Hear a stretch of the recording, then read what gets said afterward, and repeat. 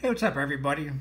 Just want to give you guys a quick update on the South Korean uh, Tiger coins from Gainesville Coins.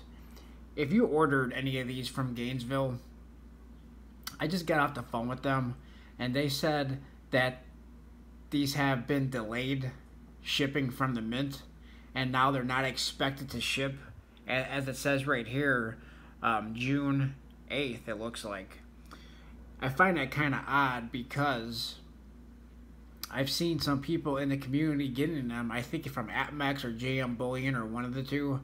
Um, so I'm not sure why uh, the mint is taking such a long time to get these coins to Gainesville, but yet they're shipping them to other dealers. So if you've had any experience, I've never ordered anything from Gainesville. This is my first uh, purchase from Gainesville. So if you ever experience if you've ever experienced um, delays in shipping like this and uh, mints not shipping stuff to them but yet shipping it to other dealers first um, gainesville coins was the first to offer the pre-sale but yet it seems like they're going to be one of the last to actually get these from the mint.